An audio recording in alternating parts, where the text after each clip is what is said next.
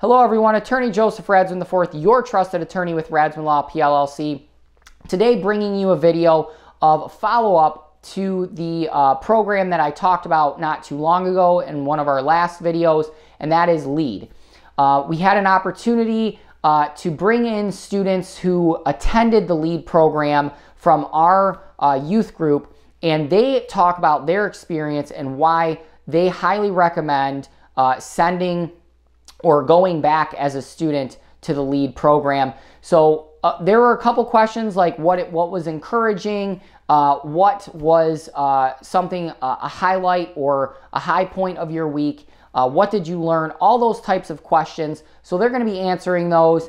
And you guys can stay tuned to watch that. If you know someone in high school, to encourage them to go to this leadership program. And Again, like I said in my last video, this is the program that helped me decide to become a lawyer. But if you're not interested in the legal field, this program still can be for you. It teaches basic leadership principles like how to communicate, how to uh, write and prepare speeches, um, how to work in a teams type setting, how to debate and articulate your point and argue uh, your side or your facts. Um, so this is a really good program. I would highly encourage everyone to check it out. If you know someone in high school or maybe you have a, a niece, nephew, or one of your own children are uh, in the high school age, you guys should check this out. It's a week-long uh, program and at the end of the week, depending on the track that you are in, uh, you may get to sit in the Capitol in a real House Representatives uh, seat to debate uh, your, your speech, I should say. So go ahead, stay tuned for this, and we will see you next time. We showed up, um, and I like looked at the schedule. I was like, whoa, like what am I at? Because it was like every, like Savannah said, like every minute is planned out. You have stuff like going the whole day. You have like, it's it's a busy camp, and you, you are kept busy. Um, but yeah, no, the throughout the week, like I just really realized like how much it was really teaching me and growing me like as a person. Um, more just because like um, I'm not a very extroverted person, and um, so I had her, but we were actually split up throughout the week. We were in different committees, so I had to like talk to people. Um, even like even going to like Lake Ann, like normally this is a big church group, so I don't really have to talk to that many people that I don't know. Um, but like really having to branch out and then like have difficult conversations with people that I don't know either was also like a bit of a stretch for me. Um, but yeah, so that was cool. Difficult having conversations about difficult topics with like people that have similar or like different um, mindsets as you.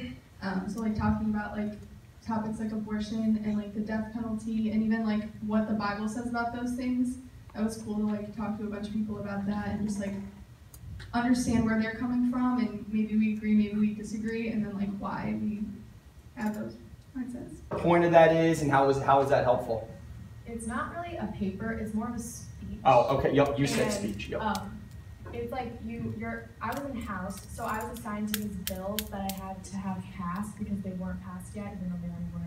But like, we had to like be in the mindset that they weren't, and um, we had to write these like speeches just to basically persuade like the audience um, that like to pass them and vote for our bill. And then we had to do an opposing speech too to try to not pass a bill. Okay. Front of everyone like about our bill and you're basically trying to convince your other representatives to vote or oppose um, your bills. Um, so it's like, but that was probably my high point of the week was just like um, seeing everyone get up at the end and speak. There wasn't an option to not speak. So like even the people that were really like um, scared to get up there and talk to everyone, like seeing them get over it and seeing everyone else like come alongside them and encourage them was really cool. Yeah, my high point of the week is probably going on the house floor. Good. Um, I've also never been to LEAD, and like I've been to Lake Ann and those type of like summer camps. So going into it, I just kind of figured it was gonna be like that, but like instead of like learning about the gospel as much, it was just gonna be learning about government, and it was not like that at all. So it was definitely like a wake up call because like you just have like you're doing so much in camp, but it's also kind of like freeing. Like you're expected to like wake up and get yourself ready and like be in the dress code and like be there on time. And if you're not, you're gonna get punished. So I don't know. I thought it was a good experience. Yeah, going into the week, like on Sunday when I was driving in, I thought it was gonna be like really boring. I thought the whole week was just gonna be like reading over bills and writing a speech. But no, I always like it's really easy to talk to people there because like they reach out to you. You're put into like a caucus of like five people, and it's really easy to talk to those people.